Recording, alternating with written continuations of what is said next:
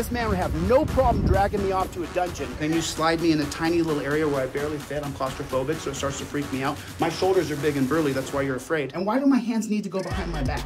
Why do I have to be completely debilitated? They treat me like total crap. I can't look at them in the eyes, I have to look at the floor. And then if I give any kind of resistance and don't give them full dominion over my fingers as they fingerprint me, then what happens next is they slam my head into the wall. That's happened to me once. Every day, 100 emails of people saying, please help me. I got this Jack Thug pig here in Texas. I got a guy in LA, I got a story on camera. He got picked up for not paying traffic ticket. He's now HIV positive. It's not just one or two, and it's not a few bad apples. You have bad apples on this police department. I'm not going to a dungeon because this pig over here and this pig over here want to drag me. I mean, look at the terror flag he's wearing. Look at the terror flag he's wearing. Video. What happened? That's his business, not yours. My business to ask, though, you know what I mean? I was actually going to drop the cameras and go into Kung Fu mode. Good thing you came back. If you hadn't come back, I was going to Kung Fu, bro. I'm just standing there filming, you know? These guys are so predictable. Such beta male chumpzillas that when you put torture cuffs on someone, you're torturing them. I you to- appreciate your information. Well, it might not affect you at all. You might not give a rat's ass about another man. How many cops do you guys need? You guys need a few more cops here? One, two, three, four, five. Get, get another giant like this one. There's, there's no third party to film cops searching your car. I mean, one time when I, after I became known across the country, then the cops didn't put me in torture cuffs quite as tight. I was in torture cuffs and the guy tried to cut off the blood to my ulnar nerve and my arm. That's why this hand shakes now. Because what he did. He's got his hands on his head like a POW though. You know, I'm not a fan of police, but uh, at the same time, I'll treat you like an individual until I, someone gives me a directive or tries to demand my ID or. No, so you can't do that in here. You can do it to us all you want. Mm. So let me you can't now, record other people. now let me tell you this: go pound sand. You can- go pound sand, bro. Jump down on your knees and, and eat my shorts. I'm filming them right now. What are you gonna do about it?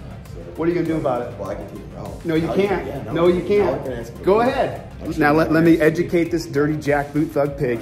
You have a First Amendment right to film police. That right does not change when you go into a police lobby. It's right there, the right to film cops. You got people like that who don't know that this is a public forum. I can film in here anytime I'd like. What are you gonna do about it? Well, You're not gonna do a damn thing. And if you do, I'll sue you personally under 1983. And then you'll face federal district court. Or take your happy ass back to your office and flee like a little dog.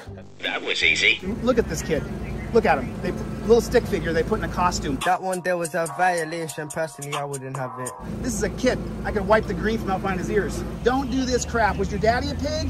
Tell me what happened. Retire now, dude. Are you gonna physically stop me from doing my job? I'm not going to physically do that. Okay. Well, then I'm gonna walk around here and take some videos. Okay. So Okay. if, if you're done, then Yes. head on back. Okay. Thank you. All right. Have a good day. Appreciate you. Okay.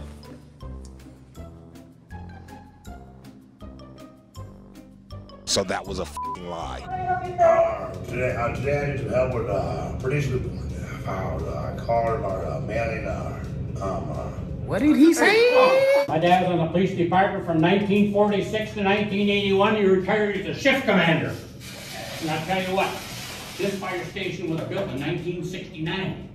And he was here from 69 to 81. He was a shift commander here. And before that, you know where the big uh, city hall is? Yeah.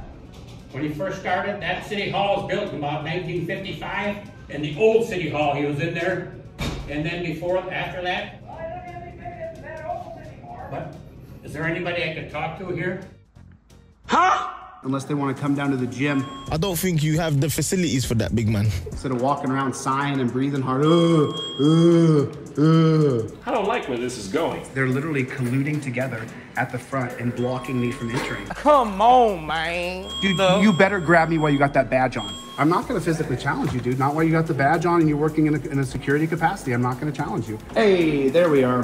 There's an officer of the law. I don't go in there and smash that desk and beat everybody up and say, I'll do what I want because I agree to live under a series of laws. Mm-hmm. I've agreed to that. I'm a law abiding citizen. I won't violate your rights just like I don't want you to violate mine. I want a matter of record. I'm not willingly walking off. He's telling me if I don't leave, that he's going to arrest me. And so, as a man of law and order who respects the social contract and the rule of law, I'm going to do what he tells me to because if I don't do what he tells me, he's going to arrest me. You are a bro. You're not tough at all. With your badge and gun, you got no badge and gun, you're a wuss. Don't get in my face, punk ass. Excuse me. think you're a man with a gun in your hand, don't you? You're a jack. Thank you for being a good. I'm telling you, dude. Hold up.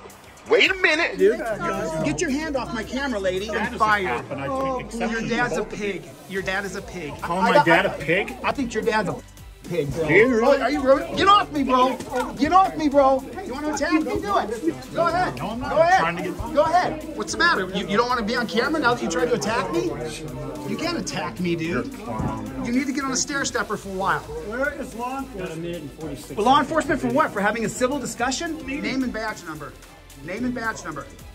What's your name and badge number? Hey, hey, you have to identify yourself according to policy. Leave him alone. No, he has to identify. No, he doesn't. Yes, leave he him alone. Go back to California. No, leave our, leave our, leave them alone. You're upset because he didn't identify himself. You can't act in your official capacity and not give your name and badge number. This cop comes out here and starts demanding me around and then goes, threatens me that he's gonna come out. Well, then do it.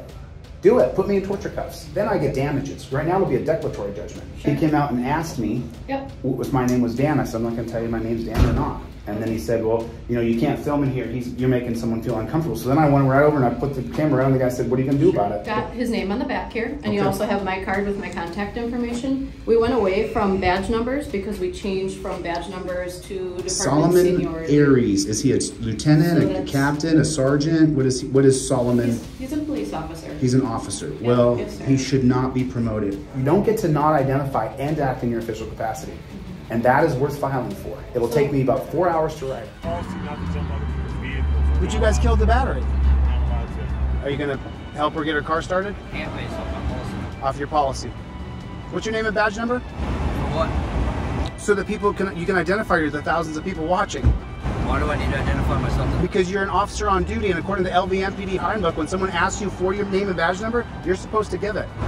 Based off what? Your handbook that I've read, that you have not read, obviously. I'm a member of the press. I need to, I'm a member of the press. I need to identify you. Okay, I'll, I'll, I'll do what I do. I grew up in this town, and this is bullshit.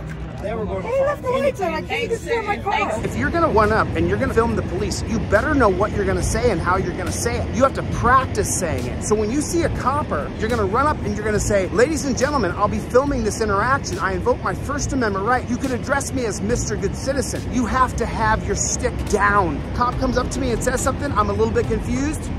You can leave I'm gonna scene. stand Yes, right can, here. sir. I'm standing in the parking lot. I came to Sir, get would gas. you like me to and you guys, you can't, you can't trespass me. Honey, you can't solicit a trespass, a trespass. Go ahead, let's follow it. Let's see if you're gonna get sued. She's trying to solicit a trespass from owners. It's illegal. You guys are seeing it all over the country. Auditors are getting arrested left and right. And why are they getting arrested? Because they don't have their stick down. They don't have their lingo, their jargon, their mumbo jumbo, and they don't invoke their rights. Now, when the cop comes up to me, the first thing I'm gonna say is, I invoke my Fifth Amendment right to remain silent. What's your name and badge number? Now, I just said that I get to be quiet and you have to tell me who you are. You see the power in that? You see the power in that?